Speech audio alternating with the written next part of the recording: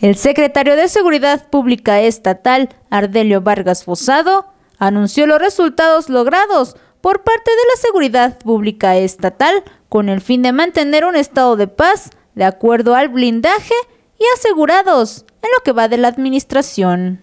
Que a la fecha se ha traducido en el aseguramiento de 9.340 personas, mismas que han sido puestas a disposición de jueces calificadores, ministerios públicos del fuero común y ministerios públicos del fuero federal. De estos, 151 detenidos dedicados al comercio de drogas, 414 armas de fuego decomisadas, 12 toneladas de marihuana aseguradas, 23.5 kilogramos de cocaína aseguradas. Para Telefórmula Pueblo informó Diana López Díaz.